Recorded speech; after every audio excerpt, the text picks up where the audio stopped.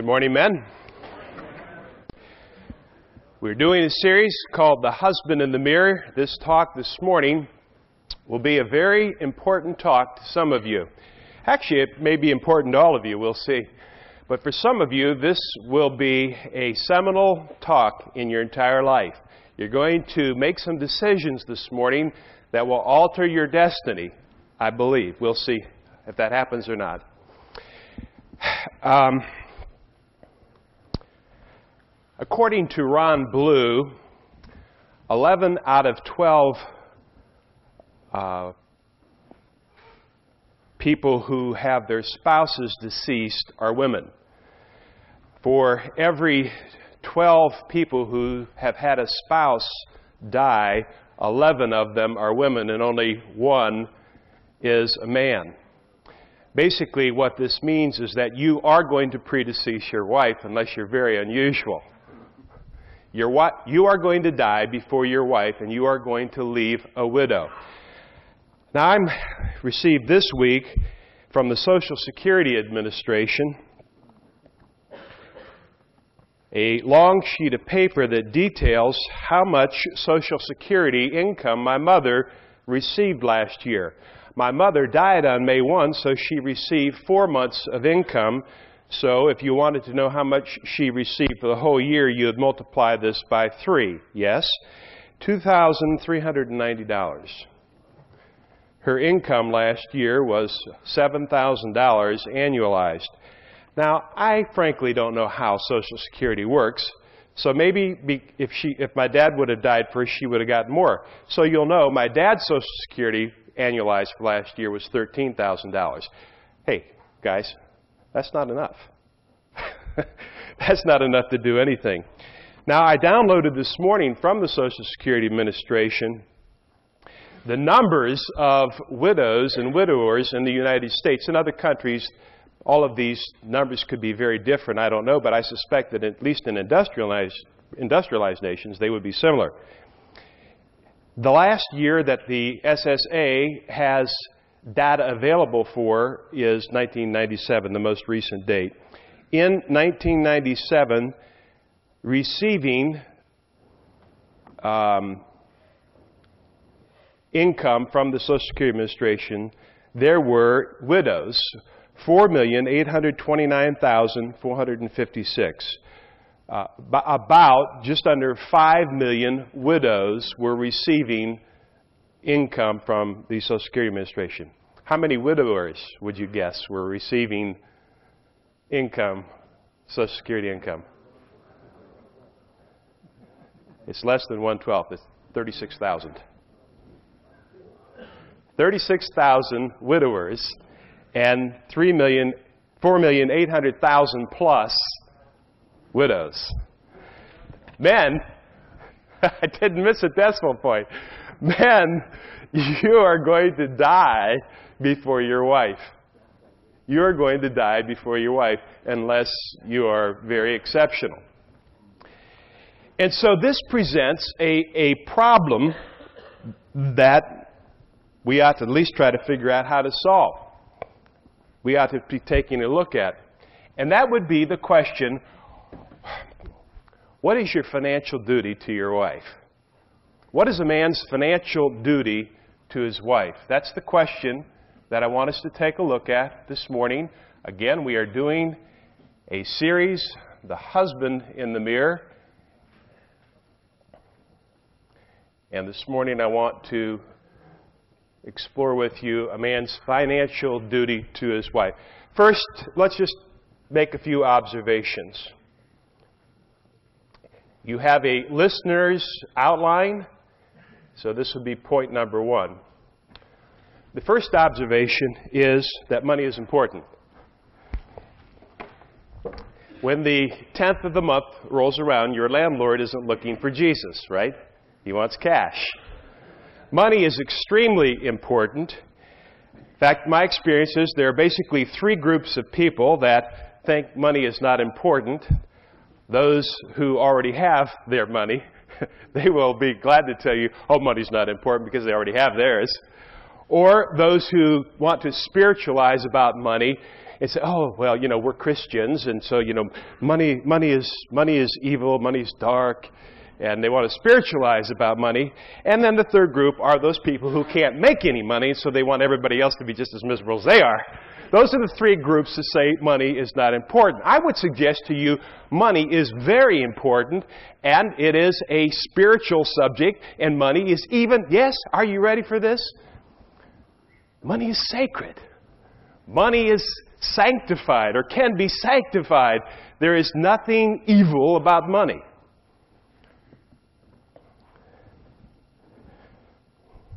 Money is a tremendous blessing.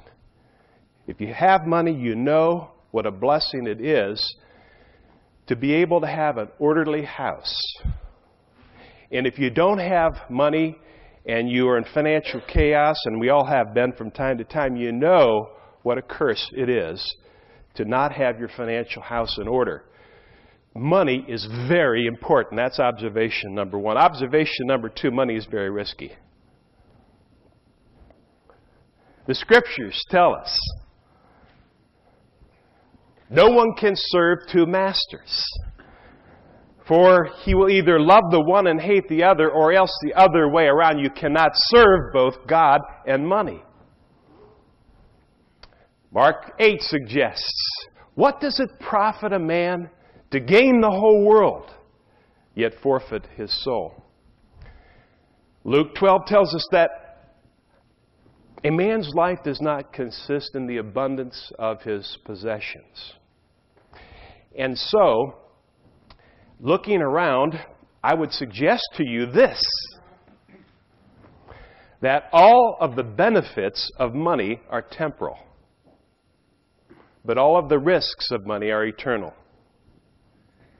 All of the benefits are temporal, all of the risks are eternal. And so, and so, I would say that both prosperity and poverty are both great tests. They're both great tests. But I would suggest that prosperity is a greater test than poverty because the risks are eternal. So there's a tremendous risk that is associated with an overemphasis on, on money. Okay, if you would now, let's take those two observations money is important, money is risky, and let's take a look at God's Word. Let's see what the Lord Jesus has to say to us about this incredibly important topic of money. And what we're exploring again now is not the whole realm of money, but what is our financial duty to our, our wives. So, the second thing I want us to do then is to uh, look at the, uh, the Bible and some of the verses that would give us an idea about what our duty might be. Okay. Proverbs chapter 10, verse 22. You should be there. If you're not there, please turn there.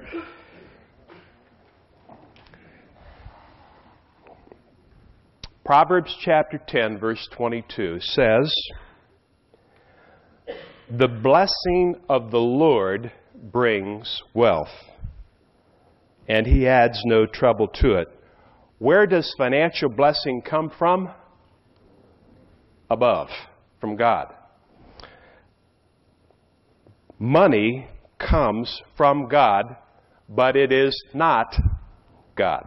Okay, turn to Proverbs 13, verse 11.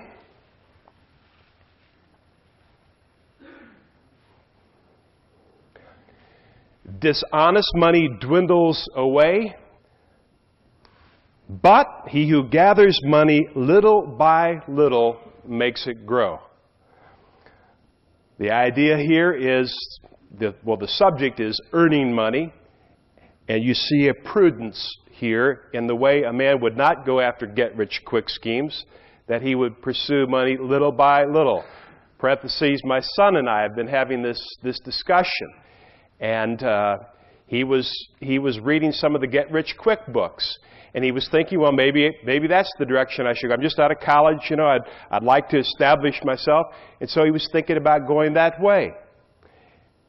And uh, through the counsel some friends and several discussions, he's decided to go on a wiser path. He's decided to take this path, the, the, the Proverbs path, instead of the get rich quick path. Turn with me to Proverbs 21, verse 20. Proverbs 21, verse 20. So, wealth, money's from God. We should earn it with prudence, and then we should save some of it according to 2120.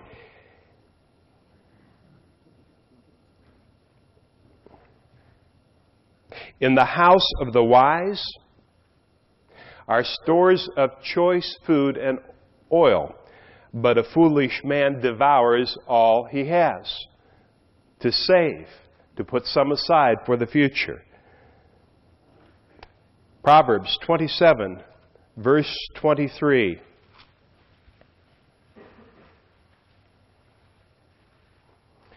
Money's from God. We should earn it. We should save it. And we should look after it as stewards. Verse 23. Be sure you know the condition of your flocks and give careful attention to your herds, for riches do not what? Endure forever. So we have a responsibility. We live in a fallen world. There are some wolves out there, some foxes out there. There's some folk who would separate a man from his money. Some of you have been separated. There's a responsibility to steward the resources that God entrusts. Don't love the money. I, I would probably, if I had more time, do a, a lengthy excursus here on debt. Those of you who have known me for a long time know that I've only ever tried to attach my name to one axiom. Everything else goes to the wind. I don't care who gets the credit for it, but this is Morley's money maxim. This is my original idea, and I want to make sure that I get credit for it. I have one one maxim about debt, and here it is debt is dumb. I just don't understand why it does not occur to more of us earlier in life that it takes more energy to earn a living and service a debt than it takes to just earn a living. Duh. I mean, what's wrong with that picture? And you look at the scriptures, I won't go through them, but look at Proverbs 6, 1 from Proverbs chapter 6, verse 1 through 5. If you put up security for your debts, if, if you have signed for a neighbor, rush, plead, beg to get out of it, it says. Proverbs chapter 22. Proverbs chapter 26. Proverbs chapter 22, verses 26 and 27. I say it again. Proverbs 22, 26, and 27. Do not be a man who strikes hands in pledge or puts up security for debts, because if you lack the means to pay, your very bed will be snatched from you. I think that's not that ambiguous, men. I, I just don't. I just don't think. You know, I remember myself, and, and that that was the verse that that I got hung up on for a long time until I decided to pretend it wasn't there. But anyway, what I would do is I'd hold that sucker up, you know, and I I can remember looking for a loophole on that verse because I wanted, I wanted to, I wanted to build a business in the worst way. I mean, I really wanted to build a business in the worst way. And in order to do what I wanted to do as a real estate developer, I had to borrow money. I had to put up this security. And so I just kept, I kept saying, I'm not going to do it. I'm never going to sign a purchase. Never. And then the perfect deal comes along. And then I made this decision that this one time, just this one time, I would go ahead.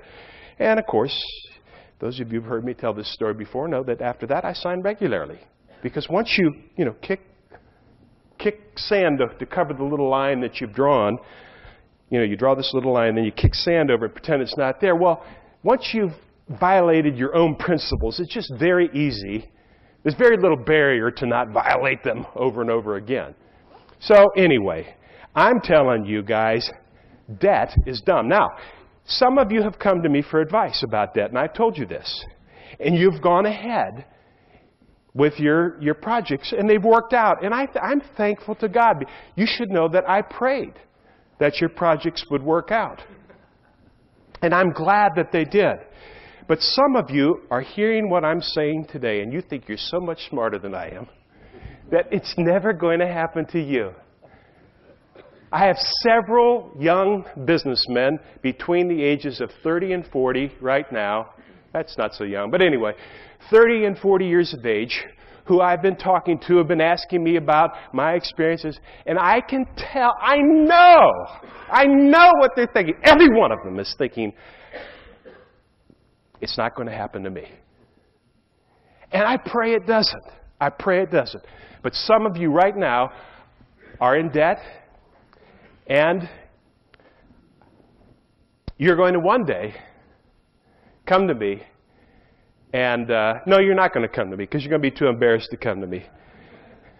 But it's going to, it's going to ruin, it's going to ruin the best years of your life, the later years of your life, because you have taken on a debt based on a future that did not happen. And trust me, it's cyclical. I mean, just think about all of the geniuses who said, we have a new economy. This internet economy. You know, there are new rules. There are new. No, there are no new rules. And now everybody's back to saying it again. There are iron laws of economics that, that, that apply. And so, anyway, that's my thing on debt. Debt, with regard to your financial duty to your wife, I think you have a, a huge responsibility to consider getting yourself out of debt. Now, what are all of these verses saying? Money's from God, earn it, save it, be a good steward. Uh, didn't even talk about generosity, but Luke chapter 12, in your time together at your tables, you can look up that one. These few thoughts on debt. What is Jesus saying to us about debt? What is Jesus saying to us about our financial duty to our wives with regard to money? I think this is it, and this is the big idea this morning. I think this is what the message is. I think this is what our financial duty is. Have the courage to live today so that there will be something there tomorrow or alive. I think that's the message. Men, we need to have the courage. It takes courage. We need to have the courage to live today so that there will be something there tomorrow or alive. Dead because you're going to die probably before your wife, and or alive because if you're not dead, you may be disabled. There may be a catastrophic illness. The ill effects of debt, all of these, these things are potential looming disasters out there. And they all come at a point when? It comes at a point where you don't have the earning capacity to go out and rebuild it. The, young, the younger of us in the room are thinking, well, if I lose it all, I can rebuild it. Yes, thank God. Thank God that you can. Because that's what happened to me. I, I have been able to rebuild. But I tell you what, it could happen again, but it's not going to happen for any of the reasons we've talked about this morning. because I learned my lesson. I know that many of you have learned your lesson. Now, there are four lifestyles that, and we're going to start moving toward application. There are four lifestyle choices, or spending styles, if you will,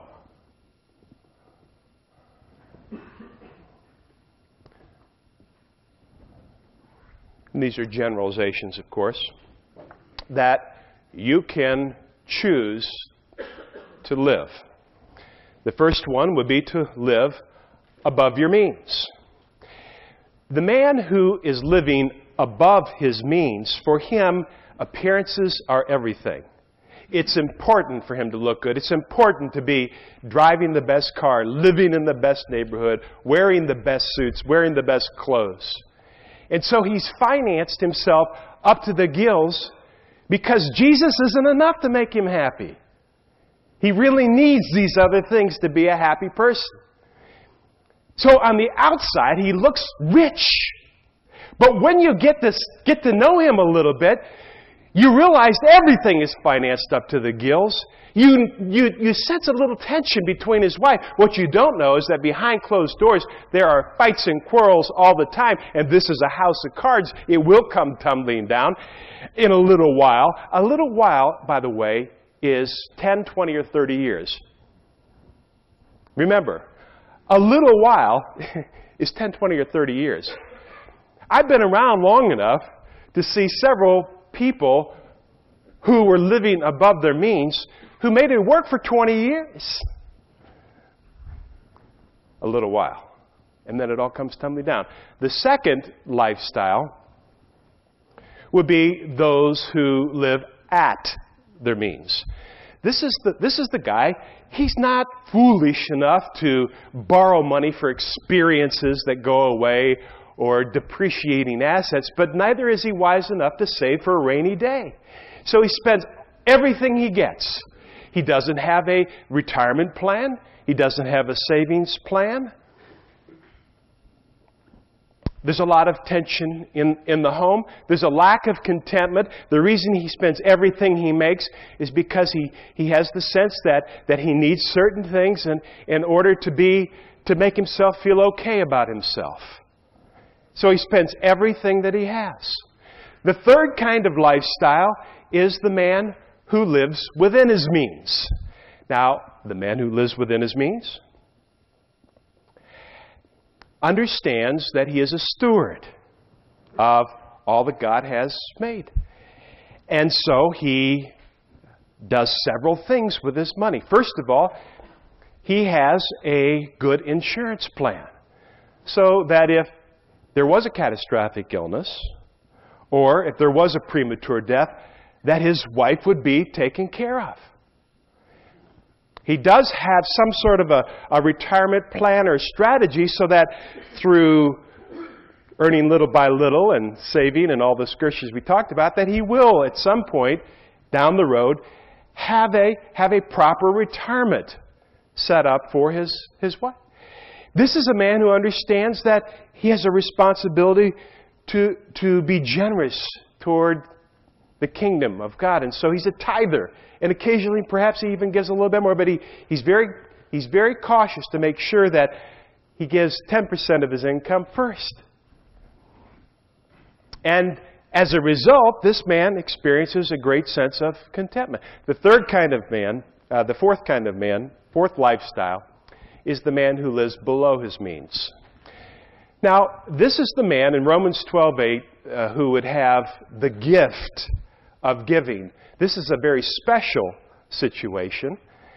This is a man who obviously could live at a much higher cut on the hog, but he and his wife have intentionally, because they have this gift of giving, they have intentionally decided to live out of a lower standard of living, uh, drive a 10 year old car, and then they just give the money they would have spent for the new car to Christ's work. And so they're having, a, a, a, they're having an impact all out of proportion to what one person might uh, ordinarily do. And there's a great sense of joy. They, you can tell these people, you can tell these people because they, they, you, they, they're walking around and they have this sparkle in their eye all the time. They, you know, honestly, I have never known a happy person who doesn't tithe. I, I, I don't know any truly happy people who don't tithe. I don't. And you know something on our board of directors? I've just this year made this a requirement. In order to be on the board of directors of Man in the Mirror, you have to tithe. You don't have to tithe to us. Tithe to your church. I don't care where you give the money, but but but I have found that if a man tithes, the rest of his life is in order, and if he doesn't, there's chaos. Now you just you just think about that. You just think about that. So those are the four lifestyle choices that a man can make. Most men really do think, and I'm not even talking about most non Christian men, I'm really talking also about most Christian men. My, my own anecdotal experience is that most men And we used this as a big idea in a lesson. I remember because Jim Cunningham, you said that you really like this big idea, Ecclesiastes 7. The big idea was is that most men believe that money will do what it wants and that God won't do what he will. I believe that with all of my heart, that most men think that money will do what it wants and that God won't do what he will. The secret of contentment, men, the great secret of contentment, it's not getting what you want. It's wanting what you get. Yes? Yes. Well, let's apply it. You, uh, you've been going to this little diner now for about three years.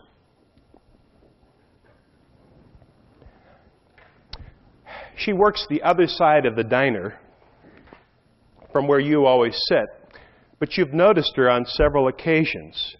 She's, hmm, what, 67, 68, maybe 70 years of age. Every vocation is holy to the Lord. And so being a waitress is a noble vocation. But, but you just have the sense that for some reason, that this is not her natural place. She, she seems to move with a certain sophistication. You, you suspect that, that her life circumstances were different, that she hasn't always been a waitress. And then one day it, it occurs to you, you know, I wonder, what is a woman her age doing working here in a diner? Why isn't she with her grandchildren?